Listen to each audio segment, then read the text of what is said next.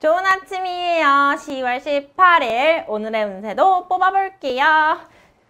두둔 두둔 두둔 짜란!